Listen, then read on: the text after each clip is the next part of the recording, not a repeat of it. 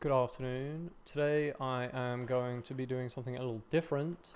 Today I'm going to be working with primarily with Python and just demonstrating how you can eliminate ifs and switches by using uh, anonymous functions. You know, like always, I have my code that I have uh, written out. I've got it there. But let's, so yeah, let's get started. So what we're going to do is store the uh, uh, we're going to store a bunch of uh, anonymous functions within uh, uh, an object and then put that inside a dictionary so that instead of uh, instead of having something like uh, if user input equals a uh, do what do you know a's function or if uh, user input equals b do b's function etc instead we will just store a we will store the functionality for each input within this uh, dictionary.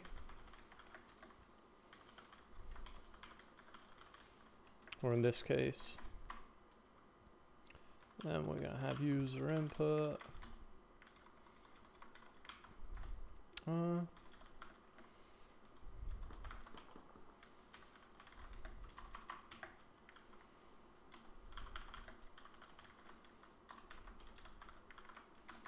You're starting to see, okay. Now we don't need that.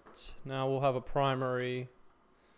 Let's just have a few options. So we'll have new option, just position zero.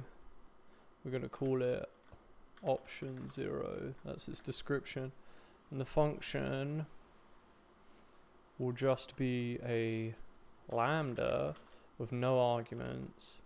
In this case, we're just going to have a regex. Right.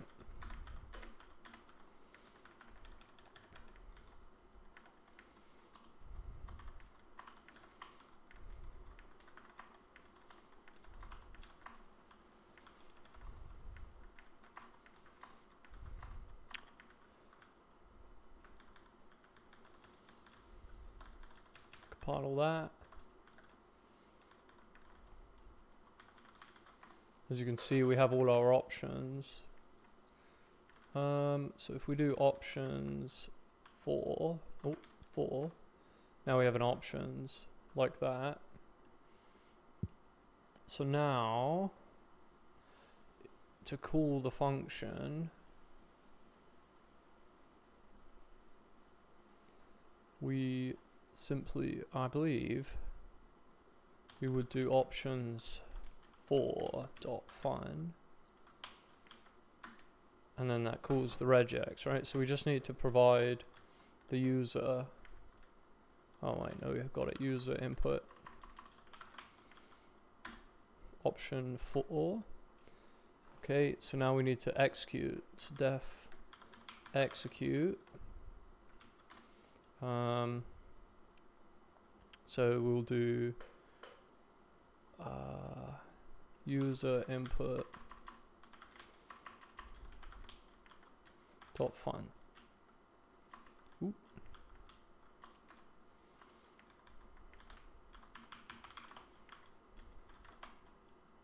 What am I doing? Execute. Oh.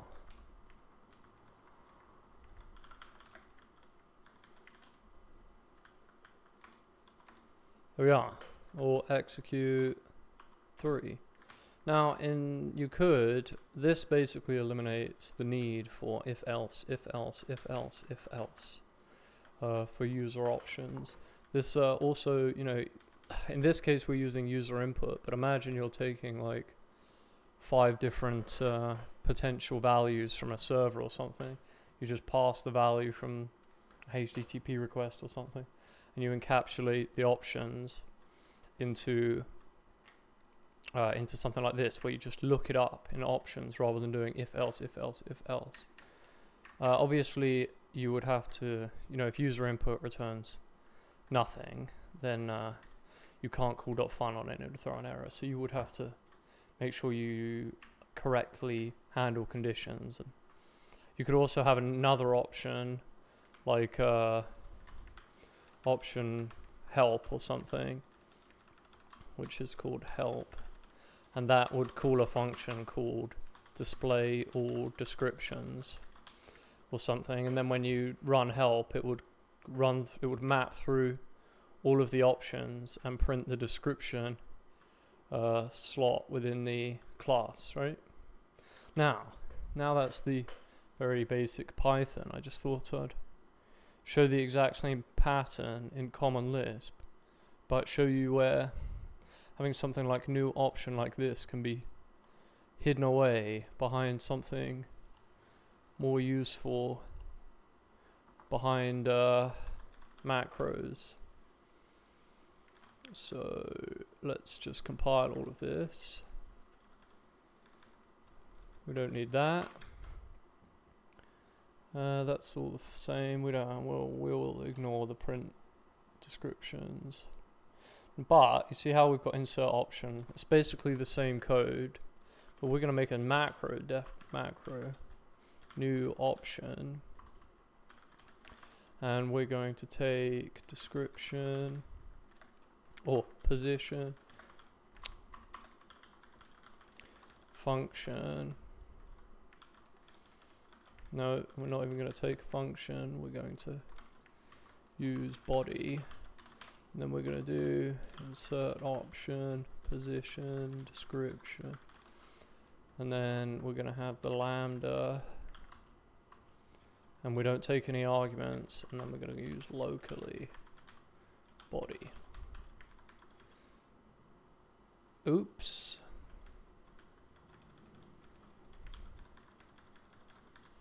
Uh, and then let's change insert option to new option. And then we got our position our description and in uh, this case our return value. I will only do uh, two. There's no point doing all the others. You've seen the rest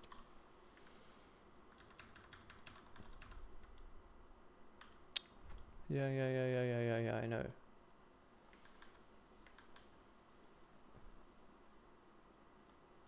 New option is not a function. Yeah, it's a macro. Oops. Yeah. We can see the macro expansion.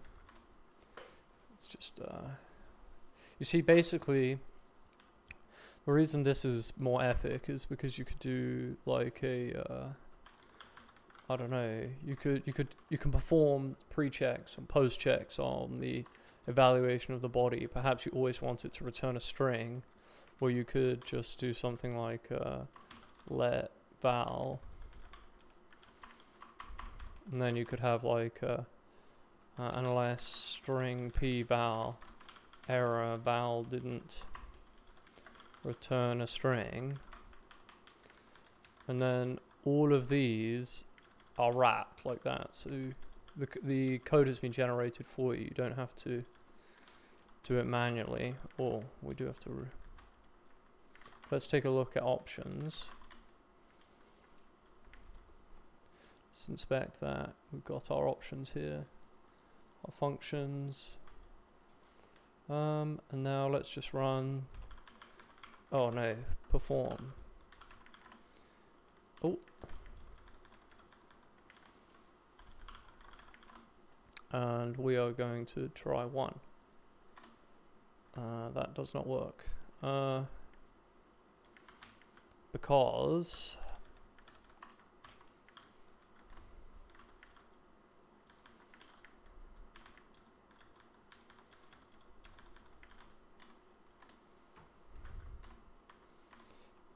Oh. Oh yeah, anyway. Uh, I hope that was uh, of use. It's pretty simple, but uh, it's quite a useful pattern, and you can uh, basically translatable in uh, all languages. So yeah, I'll uh, see you guys next time.